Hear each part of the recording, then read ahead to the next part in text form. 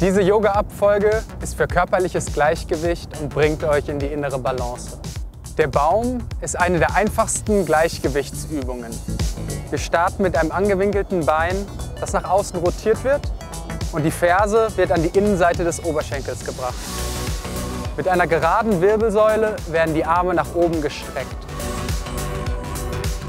Dann werden sie wieder runtergeführt ans Herz und das Bein wird herabgelassen.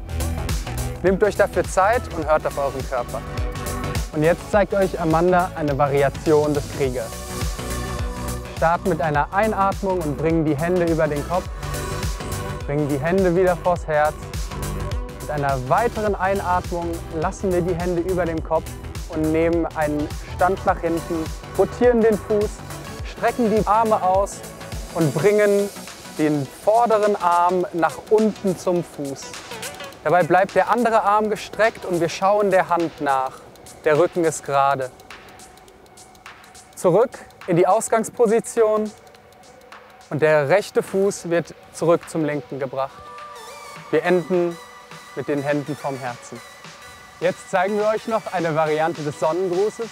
Hiermit bekommt ihr euren ganzen Körper in Bewegung und könnt ihn aktivieren. Wir starten mit dem großen Einatmen und einer kleinen in die große Vorbeuge.